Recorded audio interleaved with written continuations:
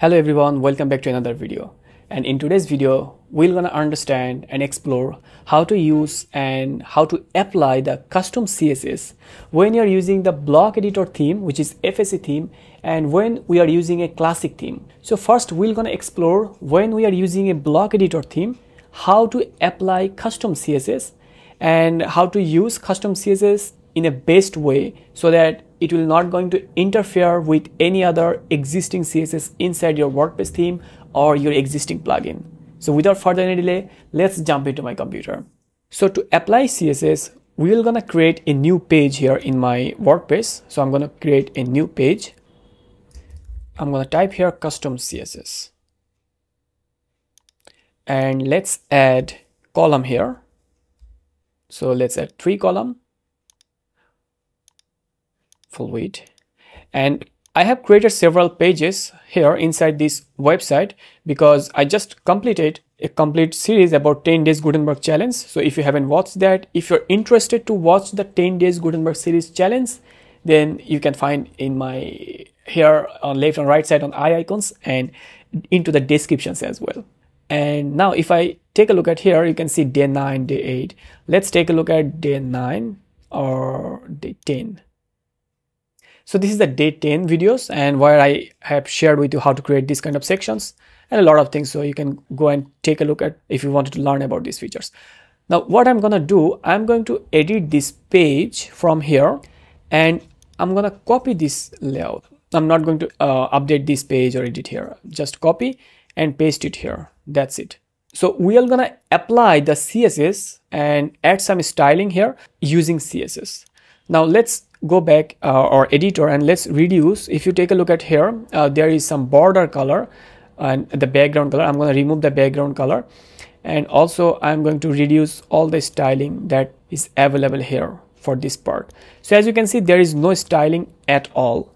So what i'm going to do? I'm going to apply some styles using css here. I'm not going to teach you the css but rather than i'm going to apply the css and I believe you know how to use and how the CSS works. And that's why you are here. So we're gonna apply CSS in a best way and also show you where the place you have to paste that CSS when you're using the block editor. Now let's add the group here. If I open this list view item, here is the group. Let's add the or select the group here. And before adding any custom CSS, if there is any options to add custom class or ID, it's a good practice. I would say must have options. You have to use class name here. And when you are adding any class name, make sure you are adding a prefix. So let's say I'm going to use a class name like a custom or let's add, let's say border background. So if there is any similar class name inside the theme or in the near future if you are using any plugin and if it has the same class name like this one then it's gonna create a conflict. And that's why we're gonna use a prefix as always. It's a good practice. The prefix what i'm going to do uh, before the border i would like to add let's say rm so I'm gonna add my name, which is Riad, and M means Riad Mahmud. Riad Mahmud, which is the short form here, RM. You can use your name, you can use your short form or whatever prefix you prefer, like your branding or your any kind of name you can use here. Now this is the name here exactly. So I'm gonna copy this name and save. Now visit this page and as you can see it doesn't have the options and also it has the border let's reduce the border okay go to the styles and you can see there is border. Let's re reset the border as well. So i just reset the border. Click save and now go to the page and reload. So as you can see the border has been gone. Now if i click over here inspect so you have to understand the inspect elements options from here. So when you want to edit or add any CSS on any specific place, you have to take your cursor at that place and on the right click from your mouse and go to the inspect. And you can see the inspect elements has a lot of code. We have to find out our own custom code. And I, as you remember that I have already copied my custom code, this one I have already copied. If you haven't copied, you can simply copy and then go to the inspect element. So first of all, you have to find out that code here and I'm going to press command A from my keyboard and paste the custom class name and as you can see when I paste the custom class name there's a lots of code and it takes me exactly where the custom class added so I have added the custom class name here inside this group block and as you can see it's clearly mentions that hey Ria this is your custom code not like human I'm just saying here so here is the custom class and now if I hover over you can see it's um, changing the color here based on my cursor activity right now here is the custom class. Now what I'm gonna do, we found our custom class, the first step to found the custom class. And the second step is add or click on this plus icon to add new style or new style rules here. Now click on this plus icon and as you can see when I click on this plus icon, if you take a look at here, there is the class which is under the div then class and there is a lot of class that is added previously. So we do not want to use all the classes from here. We only want to use our class. So we just select all of them and paste our class that we copy already. And now if you take a look at here, when you have to or when you want to use any class, make sure you have added a dot before the class name, which is very important. Many of you miss this part and start style designing, then it will gonna not going to display the work that you have done here. Now hit enter and as you can see it's appearing here and on the right hand side it's displaying inspector style sheet. This is very important. And at the same time it's highlighted as a black color. If i select any of the div item from the top it will gone. It's not visible here and you might be wondering why it's gone. Maybe it's totally gone. It's not like that. It will be staying here until you reload this page. Now if i select again as you can see it's back. Sometimes it might be displaying at the bottom area sometimes it might be displaying at the middle area and most of the time it's displaying at the top inside this style tab. And there are several other tabs we will gonna explore but inside this elementor area there is a lot of things that you can understand and you can explore. But this video is not for those uh, things so we're gonna only focus on css now click over here and as you can see it create some space for us to write down.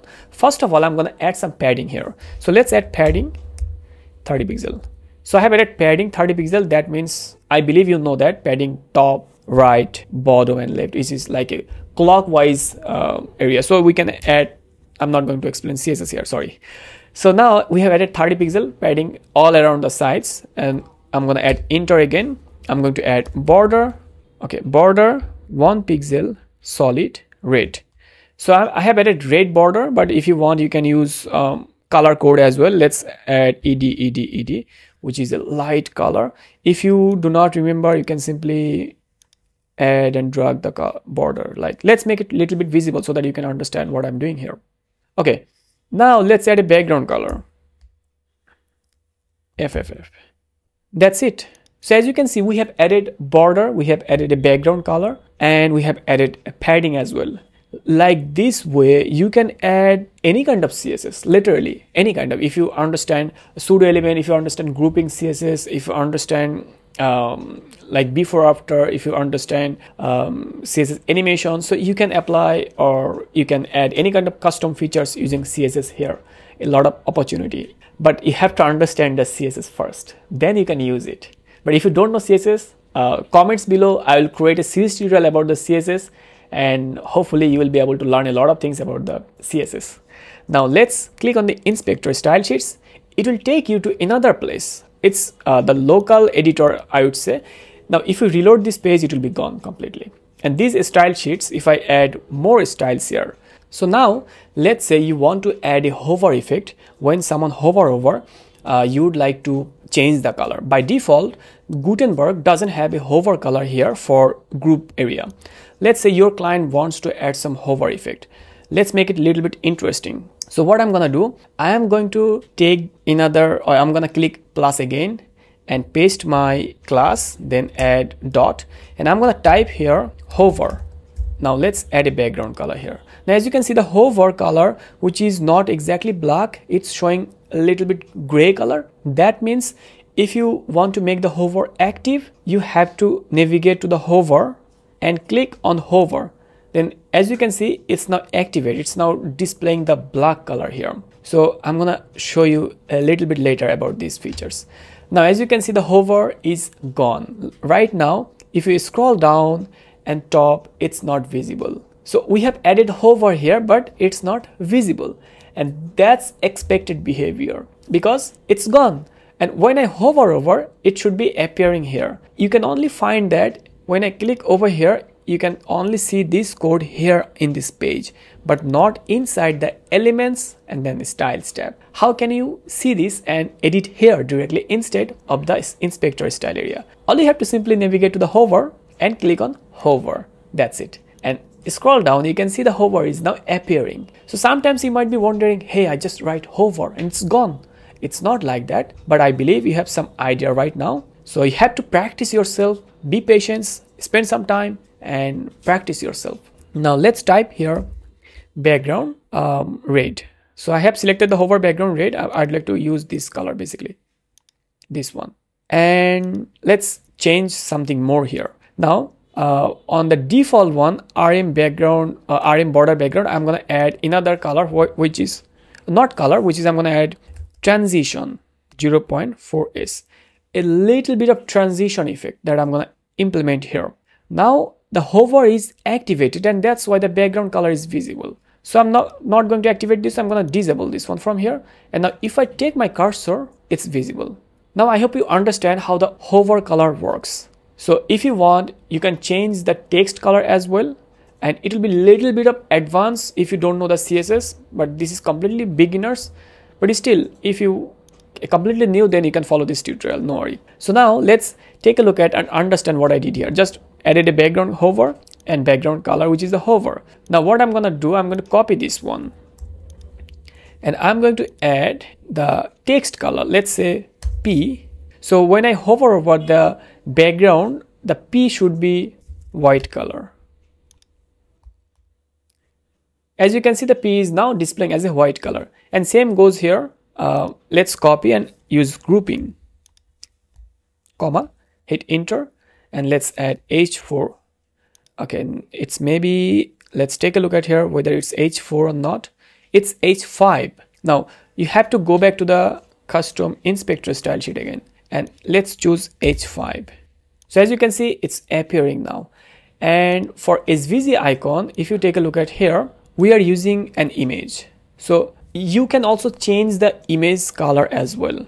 So let me show you how you can change the image color on hover. So go to the inspector style sheet again and copy this one again.